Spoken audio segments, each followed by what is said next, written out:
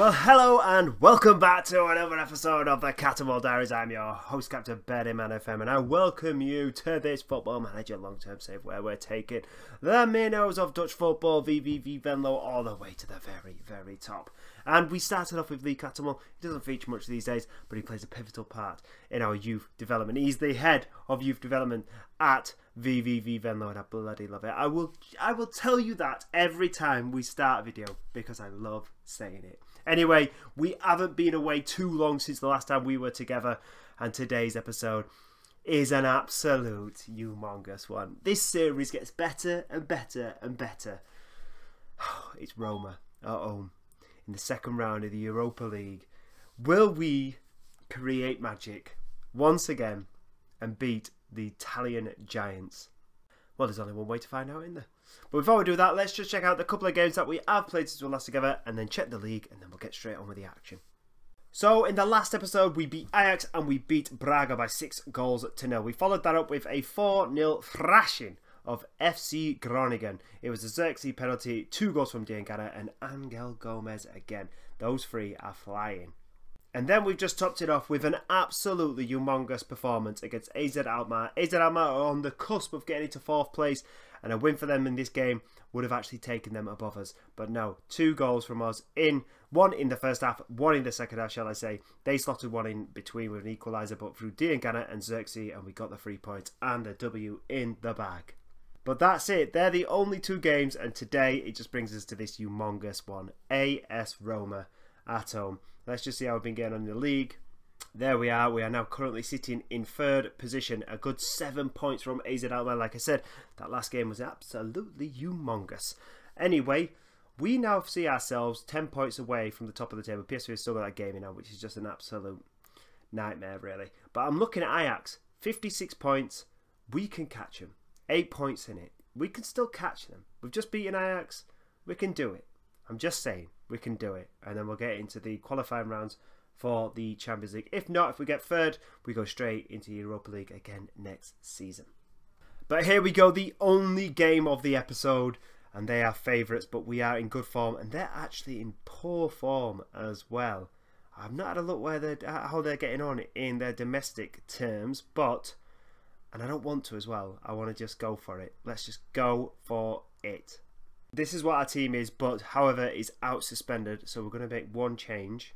And the only change that comes is that Kasper Kastrovic will come in at right back. We've also brought Farai back in because he's now fit again. And we've dropped Amrabat to the bench. Lindhurst comes back over to the Mezzala. So it's Del Ferraro, Kastrovic with Leroy, Panzo and DeMarco. Lindhurst, Agumi and Farai in the middle. Then we've got Diangana, Gomez and Xerxes up top. Lopez is still out injured, but Xerxes has been playing very, very well. Ooh, that's not a bad team, is it? Belotti, obviously signed from Torino, plays up front for them. Uh, Zaniolo is sitting behind the strikers. I know he's half fit though, is Zaniolo. They've got Patrick Schick on the right hand side. Uh, left hand side, sorry, Pellegrini down the middle. Yeah, that's a. It's, it, it's not bad, is it? It's not bad. But we've defined the odds on this save, and I've got a feeling because we're at home we're going to give them a game and we could take them. Come on, onto the team talks. As always, come in there, passionately say to the boys, we're the underdogs here. Go out there and show the fans what we're made of, and then come in there nice and calmly. I've got faith in you, lads. Go and make the difference. Good luck. Ah. And we get the game right underway, and there's a highlight straight away given away by Panzo, though. And it's Patrick Schick now on the ball, looking for Belotti and he finds Belotti, puts the ball in there. That is possibly the worst start that we could have hoped for. But, ugh, long way to go. Long way to go. Given away by Panzo. And then, yeah. what have I to say to that? Right, The right way comes in. Is it Under? Under? Under? I, I'm not actually quite sure how you pronounce his name, but I know he's a pretty good player. 1-0 Roma. Um, let's just start again, lads, eh? Del Ferraro, Leroy, out to Kastrovic, and then Kastrovic now. Given away again. Now, please do not. Oh, and given away again. We're panicking out there, aren't we? Big tackle from Leroy, though. Oh, I'm just thinking that I'd love to somehow get him into my team for next season. They want 39 million at Standard Liège. But uh, he doesn't pull out the best pass there. And we just need to get the ball down here. We just need to calm down a bit. DiMarco over the top. Here comes Angel Gomez. So Kenny gets back into the game. It's a big save and they've hooped it away. And that's our first real big chance. A clear-cut opportunity for us. Diangana back to Kastorovic. And it comes to Agumi. Puts it in there. Gomez is very small. He's not going to win that. And then Farai tries to do something. And Cristante is coming away with it. Now he's going to go for a strike. But he's going to go ever so wide. Right. Come on. Oh, we've given the ball away so much today. Panicking on the ball. Very, very much so. And I feel like some of the lads are crumbling under the pressure here. Belotti's made the run here. This could be 2-0. Big, big save from Del Ferraro. Bad, bad finish from Balotti. We're not doing bad though. 6.7's most of the lads. 6.8's a couple of 6.9's in there. We're matching them. They've just got that goal in front though. Things could be worse. Things could also get better. And there they go. Ooh, it is headed over. And they've started to take control of this game though now. 10 shots to our 4. And I've just got to remember, this is Roma. This is Roma. Just start to get back into this though. 7 shots now, but only 2 on target. We need to do something up top. Diangana going into his shell once again against one of the big boys. Does that quite a lot against the big lads. A little bit by uh, Farai. Just doesn't like those big games. And that's a killer. And the superiority is showing in abundance. And this could be the end of our European tournament. And this could be the end of our season, if I'm going to be completely honest with you. Because there's not much else to play for. Our average ratings have gone through the basement. And we're not playing very well out there now. Disappointing. Absolutely. The lads are just not really turned up today, have they? We will be looking at a couple of lads off the bench. Obviously, De uh, Di Maria might be on the bench. I'm sure he is. Willian on the bench as well. Amrabat is there as well. Can we just get a goal back, though? Get a goal back, and we will... Oh, um, obviously, we'll be back in the game, but... Uh, yeah, we're not going to get a goal back with passing like that, are we? Ball does come all the way back to Del Ferraro. It's Leroy now. Looking for Xerxes, and he finds Josh Xerxes. He beats his first man. Is Xerxes now coming all the way through? Can he get a shot away? He can, and... Oh, he's, he's he's missed it. He's bloody missed it. Did all the hard work and then put it the wrong side of the post. And these could strike straight from that miss. And they don't. They hit the side netting as well.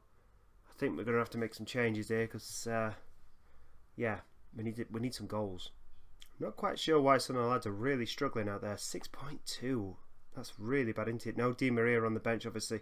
He's either cup tied or he is feeling it about there. I think what we'll do is we'll get Willian on, move Diangana over to the left hand side, and we'll have Willian as a advanced playmaker. And then what we're going to do is bring Baltasar Lopez on, who's obviously just coming back from injury, but I mean, Xerxes has been absolutely terrible, hasn't he? And then Agumi down the middle is on a 6.3, and we're going for a triple substitution, and we're going to put Amrabat. We're actually going to change Amrabat, put him there, and then our Farai down the middle. In fact, no, we're not. We're going to stay with that, and Amrabat can stay there. And that's just how it's going to have to be. Not great from the lads out there so far today, and they need to sort it out. Might just chuck uh, a bit of an encouragement on there as well from the sideline. Got to try and get something from this game. We always score at home. Big chance here. Real big chance. It's Willian. Can he kill it in? Ah! And the veteran had the opportunity. If anybody on the pitch was going to take that, I would have given it to Willian. So nothing to be too shunned about. 15 minutes to go. I don't think we're going to be able to pull something out of the bag here. And I think this could be it. It was always going to be a tall ask against Roma. But it looks like our Europa League adventure is coming to an end very, very soon. Ugh.